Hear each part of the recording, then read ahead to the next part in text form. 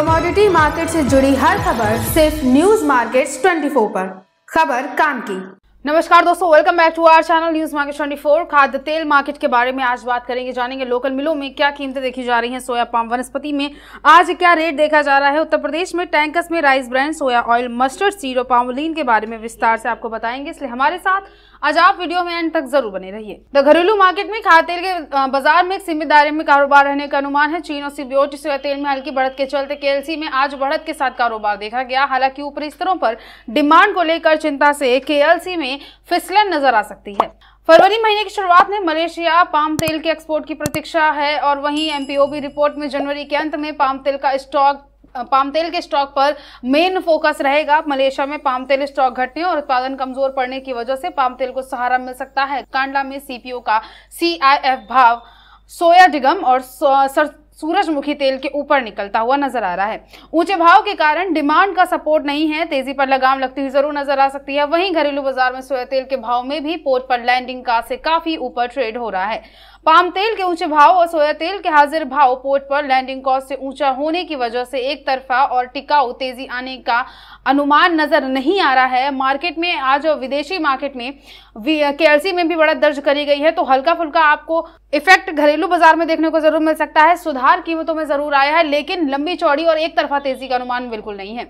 Market में आ, हम आपको बताएँगे अब रेट के बारे में जानेंगे कि क्या रेट बाजारों में देखे जा रहे हैं। मगर उससे पहले अगर आपको खाद्य तेल बाज़ार से जुड़ी किसी भी तरह की जानकारी चाहिए लॉन्ग टर्म या शॉर्ट टर्म के लिए मार्केट प्रोडिक्शन आप जानना चाहते हैं या फिर आप जानना चाहते हैं विदेशी मार्केट पर कैसा कारोबार देखा जाएगा इलेक्शन आने वाले हैं तो क्या क्या बाज़ार रह सकता है क्या क्या किस तरह से आप कारोबार कर सकते हैं प्रॉफिट कमा सकते हैं तो आप हमारा नाइन का मंडे टू फ्राइडे मॉर्निंग में होने वाला लाइव सेशन ज्वाइन कर सकते हैं। एक्सपर्ट द्वारा आपको खाद्य तेल बाज़ार से बाज़ार की हर छोटी से छोटी चीज़ की जानकारी इस लाइव सेशन में दी जाती है। इसके लिए स्क्रीन पर दिए गए नंबर पर आप अभी व्हाट्सएप या कॉल करके हमें कॉन्टेक्ट कर सकते हैं।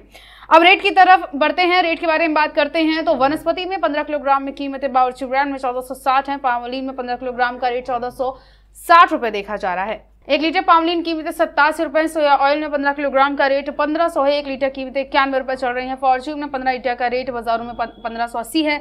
एक लीटर फॉर्च्यून कीमतें एक सौ दस रुपए देखी जा रही हैं। बेस्ट चॉइस में सोया रिफाइंड में एक लीटर का रेट इक्यानवे रुपए पामलिन में एक लीटर कीमतें चौरासी रुपए चल रही है। बिनौला में दस किलोग्राम का रेट आठ सौ सत्तर है। सनफ्लावर कीमतें दस किलोग्राम में नौ सौ चल रही है। और इसके अलावा ग्राउंड नट ऑयल में दस किलोग्राम का रेट चौदह सौ पचहत्तर देखा जा रहा है। अब बात करते हैं उत्तर प्रदेश के बारे में तो राइस ब्रांड कीमतें अस्सी रुपए है, सोया ऑयल का रेट बानवे रुपए सोडियो कीमतें नब्बे रुपए चल रही है। मस्टर्ड का रेट उत्तर प्रदेश में 105 एक्सपर कीमत 103 है। पामोलिन में आप अट्ठासी रुपए का रेट बाज़ार में देखकर चल सकते हैं। ओवरऑल मार्केट में जो ट्रेंड है, वो स्टेबल है। हल्का सुधार दर्ज करा गया है, लेकिन सोया तेल 850 से 910 और पाम तेल, पाम ऑयल 820 से 860 के सीमित दायरे में कारोबार कर सकता है। व्यापारी इसके अनुसार खरीदारी बिकवाली करके चल सकते हैं। लॉन्ग टर्म के लिए हम आपको बहुत ज़्यादा व्यापार करने की सलाह नहीं देंगे। ज़रूरत के हिसाब से आप यहाँ से गिरावट पर अपना व्यापार कर सकते हैं। तो आज की खबरों में सिर्फ़ इतना ही। वीडियो अगर आपके लिए यूजफुल होता है तो आप वीडियो को लाइक ज़रूर कर लीजिए और अपना फीडबैक कमेंट सेक्शन में हमें ज़रूर दीजिए। मिलते हैं आपसे अगली खबरों के साथ। तब तक के लिए stay healthy stay safe thanks for watching bureau report news market twenty